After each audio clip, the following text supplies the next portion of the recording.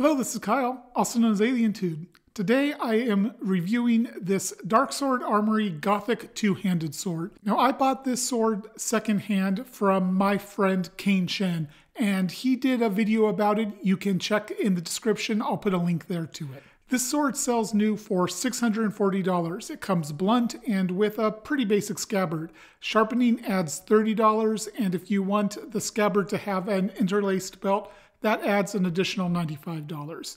If you don't want the scabbard at all, you can contact Dark Sword Armory and they will knock $60 off the price of the sword. So you can guess that the scabbard costs $60.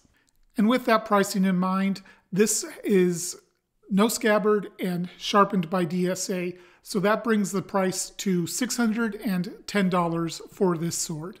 Incidentally, this sword was ordered in late 2020 for $375. That means over the course of three years, that's an almost 80% increase in price.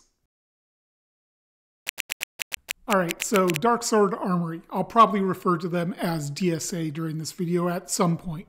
There's a lot of information out there about them in the community, and a lot of strong opinions about Dark Sword Armory. I want to say right up front during this section a lot of what I'm going to be talking about is speculation and educated guesses because there while there's a lot of information there's seems to be a lot of controversy about DSA and just it's hard to tell where the truth is and where things are made up. So keep that in mind. This whole section is going to be it's it's going to be speculation. That's the best way to put it. So first off, what we do know absolutely is that Dark Sword Armory is based in Canada. They say that they make their swords in Canada, but I'm not sure they do. I think they import the vast majority of the swords I think they assemble them, but I think the blades, the hilt components, I think they import all of those. They might make something like the grips, but I don't believe that they make the hilt furniture or the blades. And there's a few reasons for this. First off, if you look at this Canadian website, they recognize Dark Sword Armory as an importer of swords and sword parts, not a producer. Also, if you pay attention to Dark Sword Armory through the years and what people get from them. There's a wide vi- variance of specs and quality, and it's in the same models. You'll get, I've seen people who have this very specific model who say that it weighs over four pounds. This one is two pounds, 12 ounces. That's a huge difference. And to me, it doesn't make sense if they were making their own stuff to have that big of a variance. To me, it, it makes more sense that they are importing the components and putting it all together themselves. My hunch is that they sign contracts with forges, I'm guessing India, and once the contract is up, they put out to bid for a new contract to whatever forge that makes the gives them the best offer. So one forge might make the swords lighter, one might make it heavier. It's it's there's a lot of variance there, and to me that makes sense to explain that variance. Again, speculation here. And I want to say it is perfectly fine for Dark Sword Armory to import the hilt components, import the blade, uh, do the assembly themselves. There's nothing wrong with that business model. Just own it. Don't imply that you hand make your swords by hand in Canada because it doesn't seem to be true. Don't be dishonest, just own your business practices. So, another bit of controversy about DSA is their hilt construction quality. For a time there, I think it was around a decade ago, they had a big problem where they were threading the pommels onto the tang and just not doing solid hilt construction. By pretty much all, or at least most of the reports I see these days, they fixed that. I hope that's the case because you do, for this price range, you really do want solid hilt construction. DSA also sends a lot of swords out for, as review samples to YouTube channels, And I'm not just talking about the big channels like Skallagrim, Matt Easton, and the like. I've seen them send samples to very small review channels, which is cool. That's a nice thing to see because, you know, not everybody gets a chance to get a review sample. And full disclosure, I reached out to DSA asking if they wanted to provide me a D, uh, review sample, and they never responded. And that's fine. They don't owe that to me. I have no problem that they didn't decided not to do that. No big deal there at all. However, what I find curious is that in all of the review samples to YouTube videos that I have seen, I've never seen much in the way of quality problems. I've seen some things like sharpness kind of lacking, but the quality problems that DSA seems to have somewhat of a repu- reputation for never seem to show up in the YouTube review samples. Whereas people who are not sent review samples, who buy their swords around the same time as review samples, do end up with quality control issues.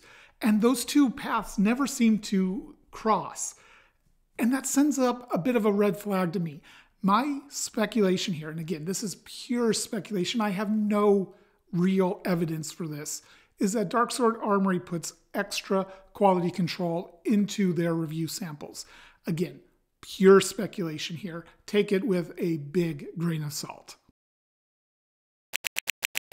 This sword seems to be inspired by Oakeshott Type 18s, in particular Type 18A and 18B. For my personal thought process, I think this leans a bit more towards 18B with a very longer blade and a longer hilt than is often seen on 18As. 18Bs were used most commonly during the mid to late 15th century into the early 16th century, so very late medieval and into the early Renaissance. They were cut and thrust balanced swords, and some of them would be more focused on cutting, some of them more focused on thrusting, depending on the geometries of the blade.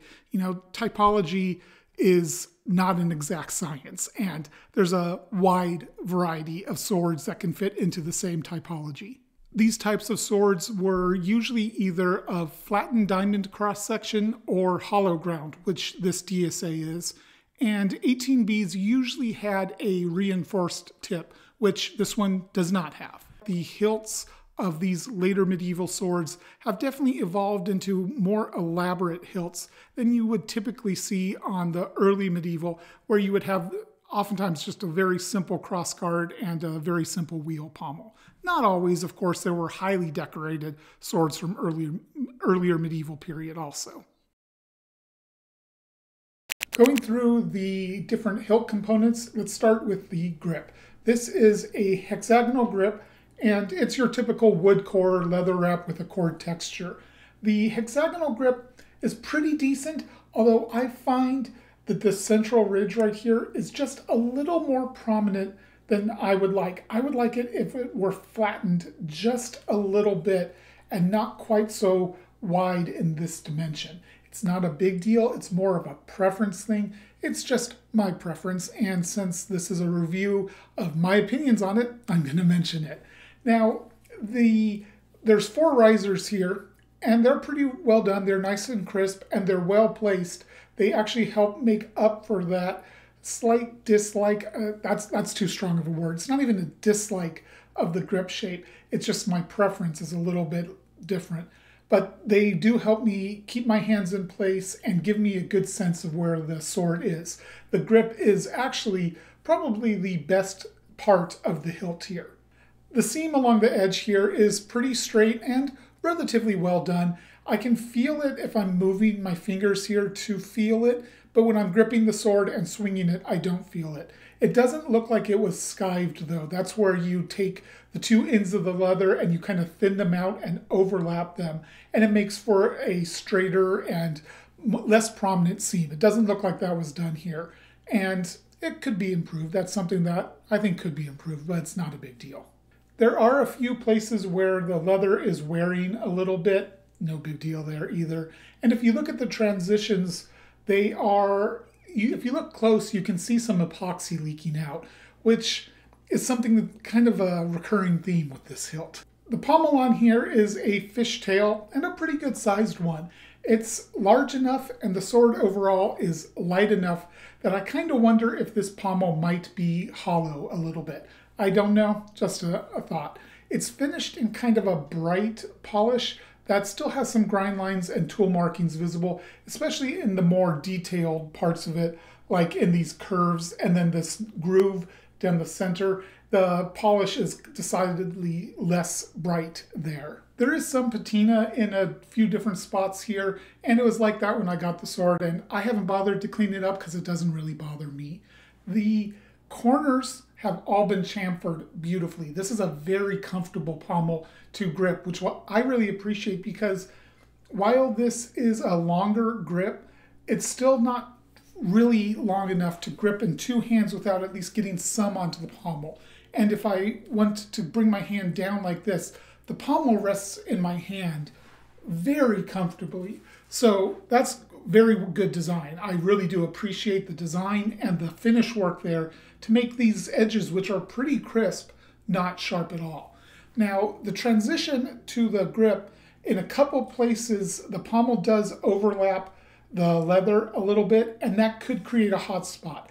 I never actually felt a hot spot. It never bit into my hand, but it, the potential is there. The pommel appears to be peened, and I say appears because I have a few questions about it. First off, Darksword Armory does have a reputation for having some threaded tangs and not having peened pommels, but it really does seem like they have fixed that from most of the reports I have seen. And this one you can see a few errant hammer marks on the pommel itself, which certainly implies a peen. However, if this is a peen, it's not a good one because it's only overlapping the pommel in like one or two places, like here and here. And there's big voids here. And if you look at those voids, they are visibly full of epoxy. And epoxy is not a substitute for a tight fit in a grip construct or hilt construction. You want that peen to really compress the entire hilt down and do that with the peen, not with epoxy filling gaps. And I'm going to show you a picture here of another Dark Sword Armory sword that I saw posted on Facebook. It was around a year, a year and a half ago. I can't find the post anymore. I don't know who took this picture, but I saw it and I saved the picture because it was so glaringly bad. This this quote unquote peen is not even there. It's surrounded by a void. I th this thing can only be held on by epoxy. So this is a relatively new sword from Dark Sword Armory. Like I said, it was around a year to a year and a half ago, and just unacceptable of a peen. Luckily, this one is not like that, and the pommel is completely tight. I don't have any wiggle there at all. The crossguard here has come slightly loose. I can't show it because it's not loose enough to actually see it visibly, but if I do this, I can feel just a little bit of wiggle. What's where how it's easier to tell though is in the sound. If I am testing the percussion nodes on the sword, you can hear it. And check this out. This is where you can hear it that rattling you hear there is the crossguard. At least I hope it's just the crossguard. I really hope it's not the tang rattling against the grip, uh, uh, the wood of the grip or anything else. Because if it is, this hilt has an incredibly short lifespan. Once the tang is loose and not securely held against everything, the, the hilt construction needs to be completely redone. I hope that's not the case here. Now, aside from the looseness here, this crossguard is finished much the same as the pommel. You can see some tool markings here and there. It's a little shiny of a finish, but not a full-on mirror. It's a little not wide enough. I, I'm not sure the correct terminology there, but it feels like the quillons could be extended about that much, like about a full inch. This is a little bit not wide enough for a Type 18B. This looks more like what you'll see on a lot of Type 16A swords, which tended to have not particularly wide crossguards, but Type 18B, generally speaking, had pretty wide crossguards. Now, all the corners here are chamfered very well, just like the pommel. There's no hot spots here at all, except for this very weird triangular protrusion that is perpendicular to the blade. I have no idea what this design is for. You don't see it on any historical swords, and it presents a lot of problems with handling. And we'll get into that during the handling section. Now, while recording this, I just noticed that I can very slightly make out the crossguard shake moving a little bit if I wiggle it. I don't know how well that's going to be caught on camera, but it is very slightly noticeable. And while I've got this here, the cross the gap in the cross guard is huge. They made absolutely no effort to shape it to the blade. Not a big deal because historically the gaps in cross guards range the gamut from huge gaps to very tight ones. However, just like other parts of the hilt, if you look into the gap, it's filled with epoxy. And again, you shouldn't need epoxy to make your hilt construction tight. You should have a tight hilt construction by everything fitting together well, by having the uh, the groove or the the slot in the grip shaped to the tang, by having the the pommel slotted and keyed to the tang. All these things should be done to make it so there's no voids in the in the entire hilt construction that need to be filled by epoxy.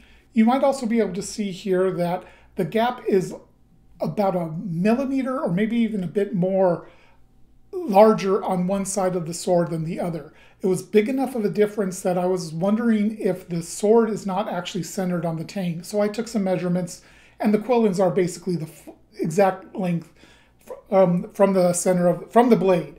So that doesn't appear to be the case. However, the sword definitely is not perfectly flat in the crossguard gap either. I'm going to try to show that very slight crossguard wiggle here. Yeah, I can definitely see it from back here. Hopefully the camera is capturing it. And now it's time to talk about the business end, the blade. As always, here's my measurements. So this is a very long blade at just over 29 inches.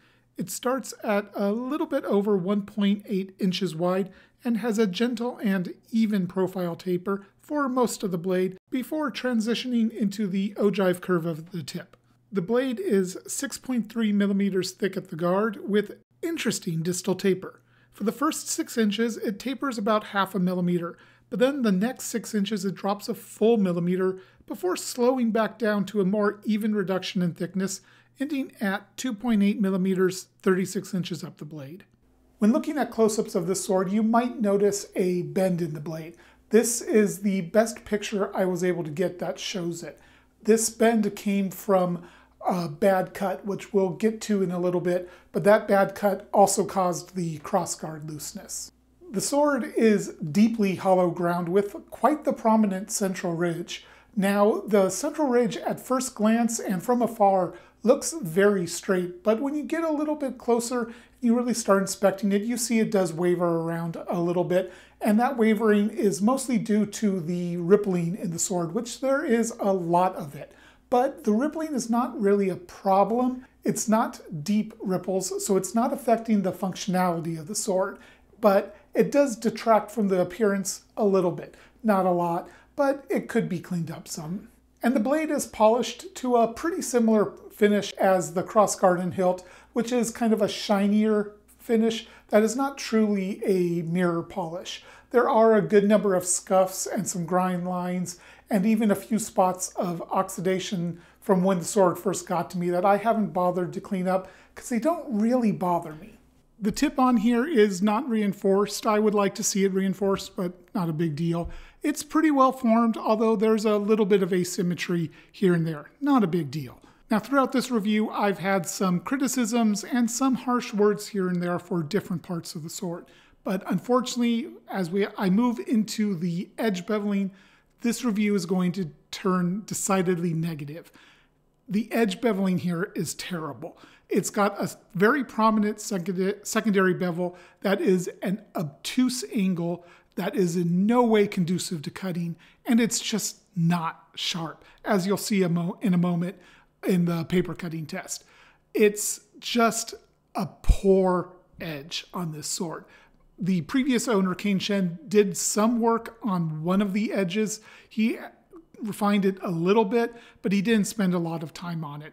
I can definitely tell that there is one edge that's sharper than the other, but both edges still need a lot of work. This is a $30 sharpening job by DSA, and it is not worth that price. It's not worth $5 to have it sharpened like this. It's not sharpened. All right, I'm going to test the edge on some paper. As always, I expect the sword to be able to slice in from the edge and cut cleanly through the paper. So it completely failed there. Let's try a few times. Not there. It actually bent the paper. I got one cut into the edge there on one spot, but then it started tearing very quickly. So there's one spot that is sharp enough to start the cut right around here, and then it kind of tears through it with a little bit of cutting, but mostly tearing through most of the blade. Let me get another piece of paper and I'll try the other edge. All right, we're going to test the other edge here. One slight bite in and then just nothing but tearing.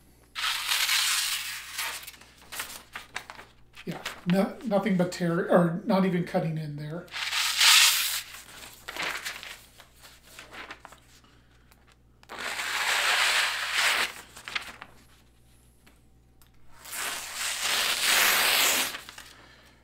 So I got one cut right near the tip there, and then pretty much nothing else. One more time, I'm going to start at the tip again.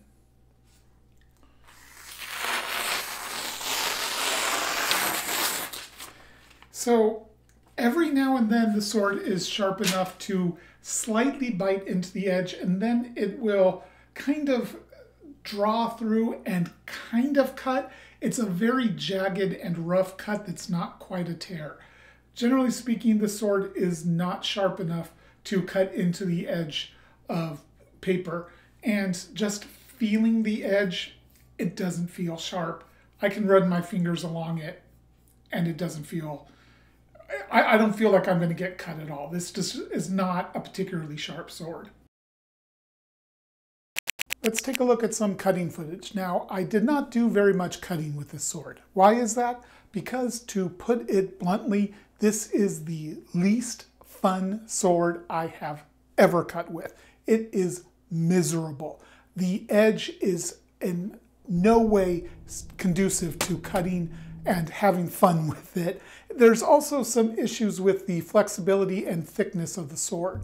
But before I get into that too much, I want to make abundantly clear, I am by no means an expert cutter. I am average at best. However, I think there is real value to showing what an average cutter can expect out of the sword, out of any sword, because the vast majority of people who watch the reviews are going to be average or at best. You know, not everybody can be an expert cutter. Yes, it's great to see what expert cutters can do. You can see what a sword can do in, in hands of people who really know how to use it. But it's also instructive to see what it, how a sword handles and reacts to somebody who is not does not have perfect edge alignment all the time, who is not has not honed their technique for years on end. And I think that's where I can provide some pretty good value. I have a decent amount of experience cutting now, but this doesn't come particularly naturally to me, and I am never going to be an expert cutter. And you know, I have enough experience at this point that I'm able to get some pretty decent cuts from time to time. Not all of them, of course, and I definitely flub cuts, but I can get decent cuts fairly regularly. Not the case with this sword. I could not get anything with this sword. I batted bottles around the yard. I tore the heck out of bottles. Occasionally I would get cut, a cut all the way through, but the, even then the bottles would be torn up. Just a miserable experience cutting with this sword. Now on a positive note, on one of my cuts I had some pretty bad aim and I hit the stand and took a small chunk out of it. The good thing is the sword took no damage from that. It handled that bad cut fine. It didn't give me any hand shock and it stayed completely straight. I made sure after doing that cut that there was no bend and there wasn't yet. All right, so let's talk about that bad cut that I mentioned earlier that caused the bend in the blade and the crossguard looseness. This is on a two liter soda bottle. These targets are certainly tougher than the small water bottles I normally cut, but they're not particularly tough as long as you avoid the neck and the cap. If you cut in the middle, they're relatively easy targets to cut. Well, when I swung here, my edge alignment was certainly off a little bit. There's no denying that. But it's not off by a ton. I have had other swords that I've cut with where with this kind of edge alignment and it cuts all the way through. Not the case here. You can see here in slow motion, the sword is flexing like crazy in multiple places. And it also delivered a lot of hand shock to my upper hand, my, my right hand. And we'll get to that when we talk about the percussion nodes in the handling section. But it completely failed this cut. And there's a few reasons for that.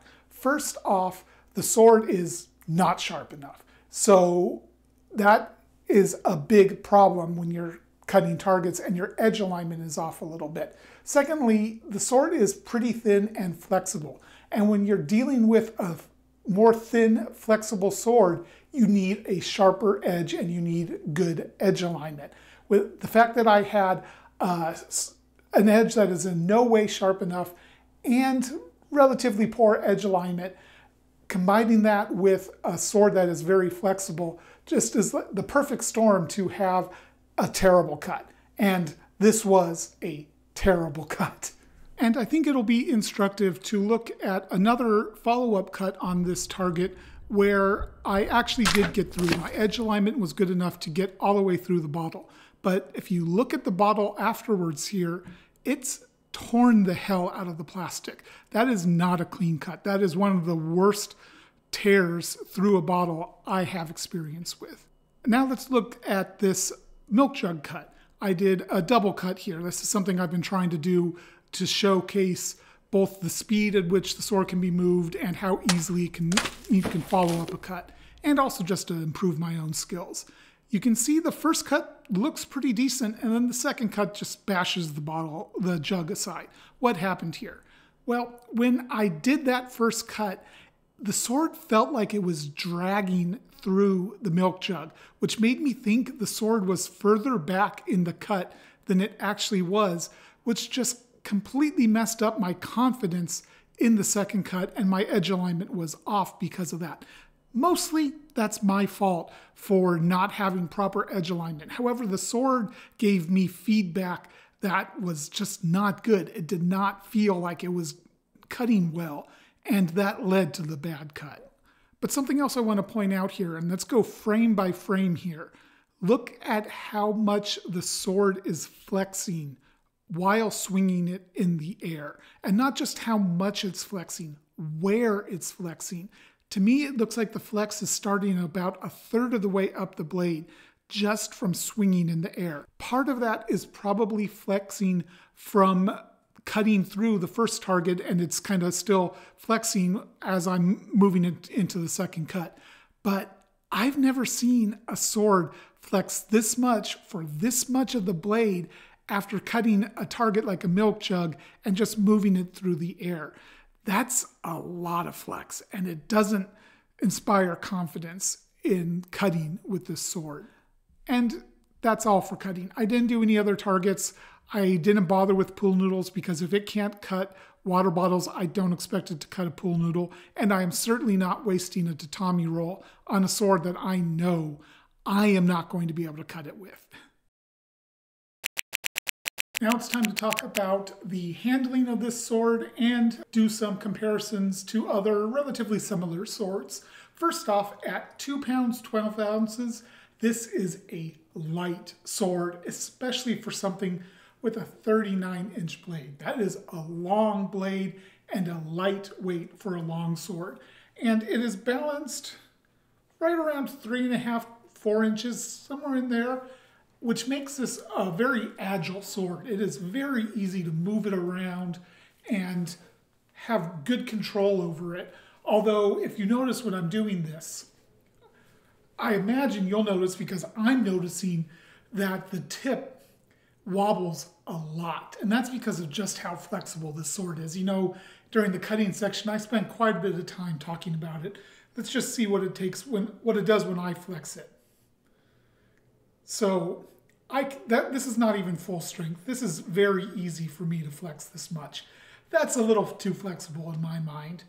And yeah, just too flexible to me. The good thing is it does flex in the right spot. You know, that's that flex starts really about two thirds of the way up the blade. That's where you really want it to flex. And if you look at the vibration nodes, it's generally in a pretty decent spot here.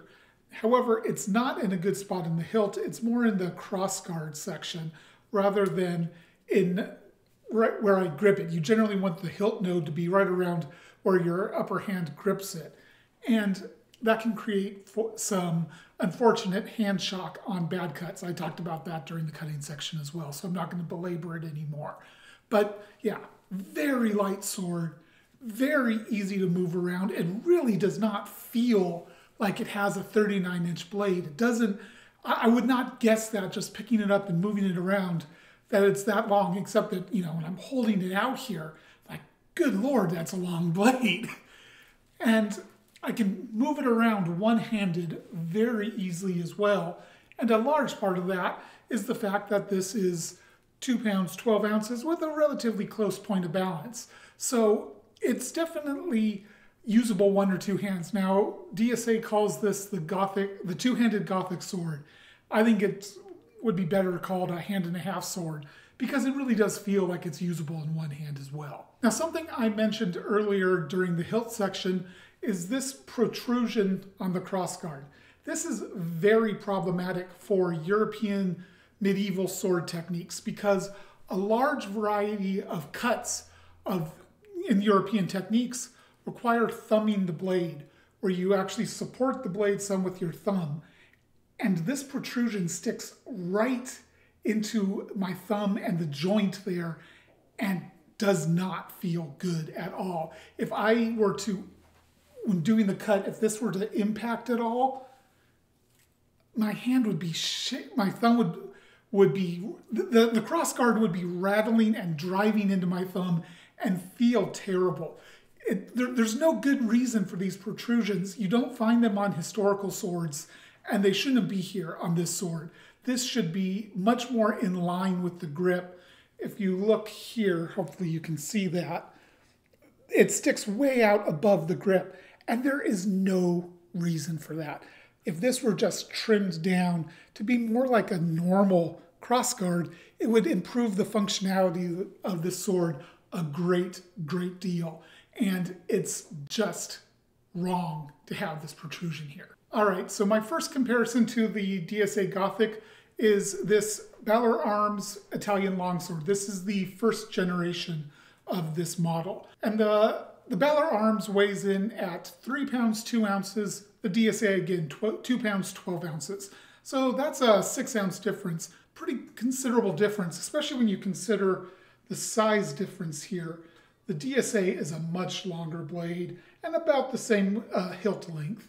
Let me put the DSA down. So when I pick up this sword, I definitely immediately feel that it is a shorter blade and it's more rigid throughout. I can, when I pick it up and just, just simply move it out here, I can see it wobbling a little bit, just kind of vibrating a little bit, but it doesn't feel like the way the DSA feels where you can really feel that wobble kind of traveling through the entire sword a little bit.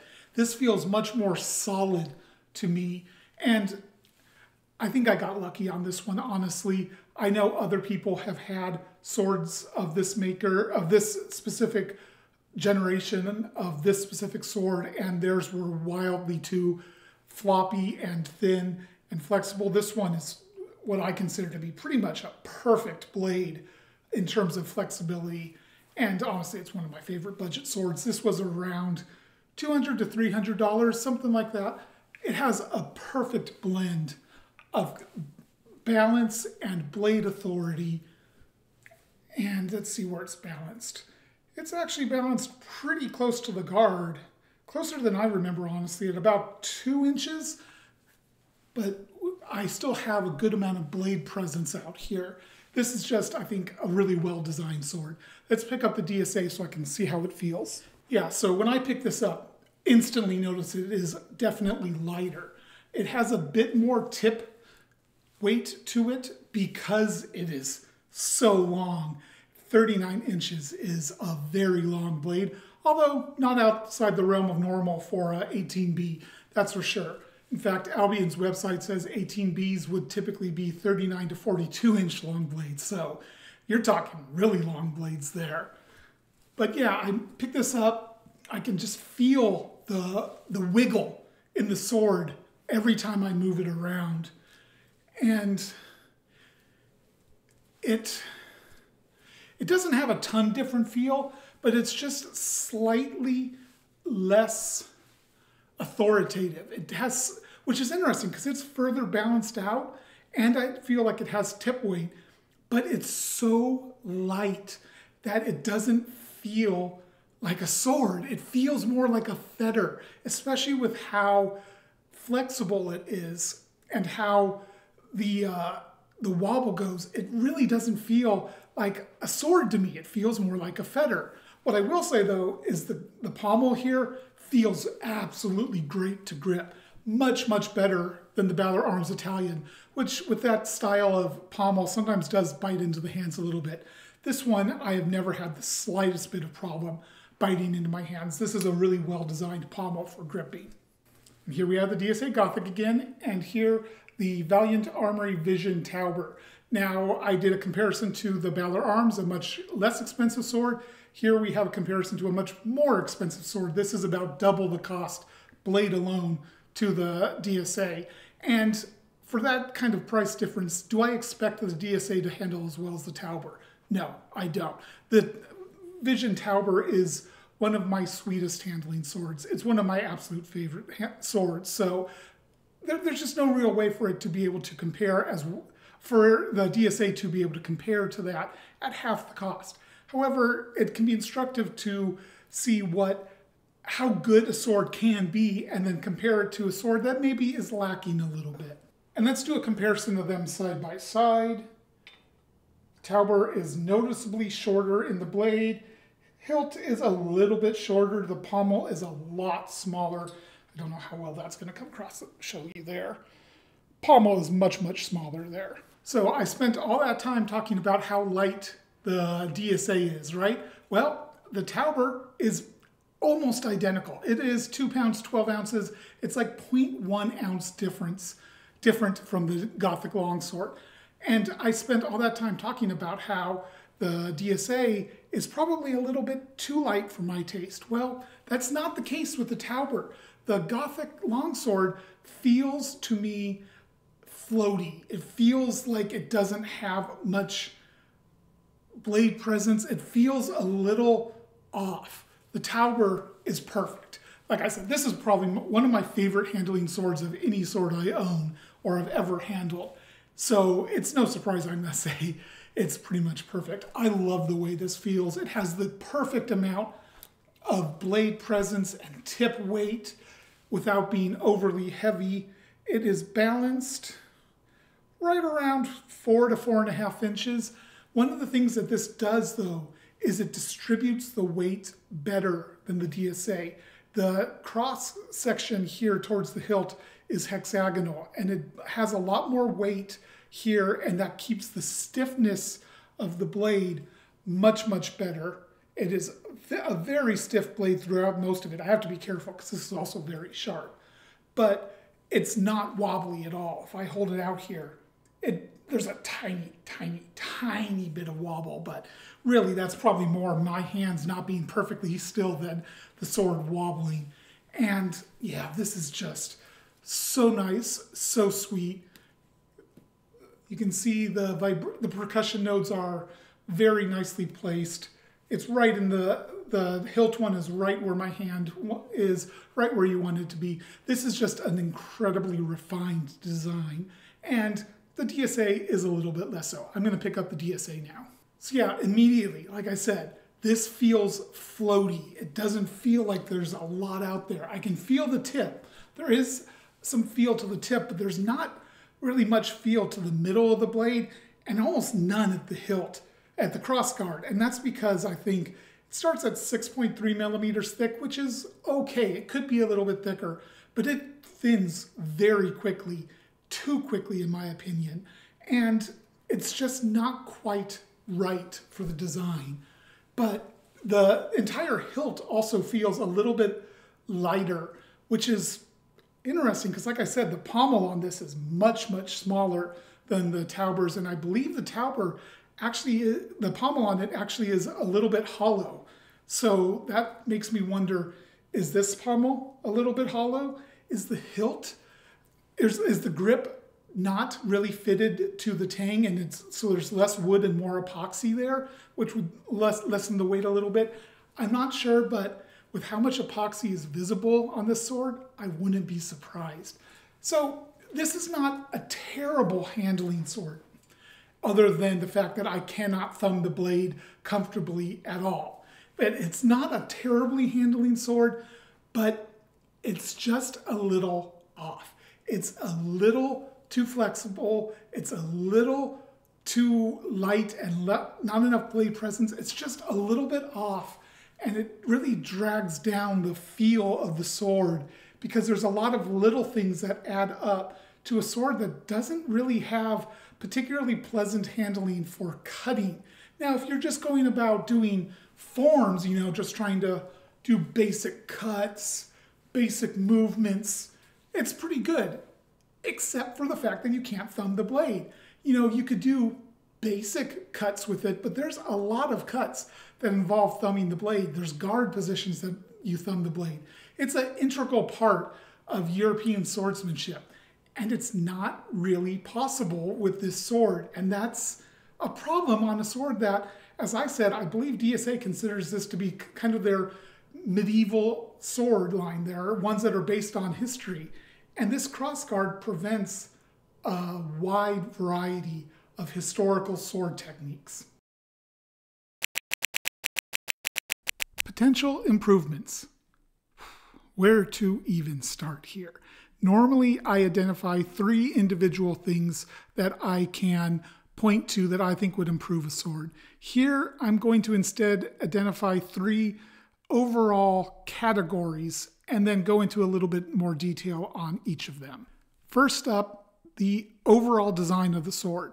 The blade, I think, needs a redesign, especially. It starts at 6.3 millimeters thick, which is workable, but not with the distal taper it has. There's no way it should be down to 4.7 millimeters after just 10, 12 inches, something like that. Personally, I would like to see the sword beefed up to around seven and a half millimeters. In fact, here's the specs of the current distal taper, and here what is what I think should be done. Quite a big difference there. I think this would make the sword much stiffer and be more accurate to historical swords and just be overall a better sword like this. A second part of the overall design that needs to be improved is the crossguard, and there's a minor thing with it and a major thing. The minor thing, extend the quillons a little bit. This is a little bit too short for uh, 18B crossguard, in my opinion. Very minor. The big thing, though, is this protrusion on the crossguard. It has no business being there. It interferes with historical European martial arts techniques, and it's bad. Get rid of that protrusion, just flatten out the cross guard, It would be a big improvement. And lastly, in this category, I think the grip could be just a little bit flatter, reduce the sharpness of the central ridge in the hexagonal section just a little bit. I like the hexagonal cross section. I just think it could use to be a little bit flatter. Very minor thing that is more my preference than anything else. The second big category of what is a failure on a sword is the sharpness. This is in no way an acceptable level of sharpness. You shouldn't have to pay extra for this level of sharpening because it's basically not sharpened at all. You know, I can run my fingers along the blade and have no fear of cutting myself. And, you know, a sword needs to be sharp enough to do that. We don't do it in modern day anymore, but that's what swords were designed to do. So if it can't do that, it's failing at its primary job. And lastly, the hilt construction, especially in the pommel, but just the entire thing. I, there's too much epoxy here. I think they used epoxy to fill a lot of gaps, and that is a shortcut to a good grip, a good hilt construction that is not a long term solution. Epoxy comes loose, it breaks, and it's going to need to be redone at some point. And the peen on here, if it is a peen, it does look like it's peened, but it looks like a very sloppy peen. And it really should be covering the entire gap uh, in the pommel so that it's a solid construction. The entire hilt to me is not solidly constructed, and that's showing in the crossguard being loose. And to me, I think it's likely that the epoxy in here is starting to come loose and break apart, and it's going to get worse and worse. Bottom line, this sword costs $610. What do you get for that price? Well, you get a sword that absolutely nails the look of a late medieval European longsword, with the exception of this rather weird crossguard. You get a sword that from afar looks great, and even if you get close up, it really does look the part. It's not until you really start inspecting it that you start finding flaws. And unfortunately, those flaws really start adding up, especially in the hilt construction, the sharpness, the design, all those things I just mentioned in the potential improvements, they really do add up to becoming problems. And honestly, serious problems. And at $610, this is firmly in the mid range price for swords. And I don't expect this many problems on a sword in that price range. I don't think this many problems is acceptable in a budget range sword, which is, you know, half the cost of this. For $610, I could get an Albion Squire line sword, and sure, I would have a 18, 24 month wait, something like that, but I'd be all but assured of a really well executed, very well thought out sword. And that's not what we have here. And it's just not worth it to my eyes. This sword has too many flaws for the price that they are asking. I, I can't accept them in a $600 sword. And aside from all that, one of the most important things for me for a sword is to be functional and fun to use. And this is not fun to use. It's one of the worst cutting swords I've ever used. I think it's the least fun sword I've ever used. And I just, I don't want to pay money for a sword that I'm not going to want to take out to the yard and cut with or even practice with.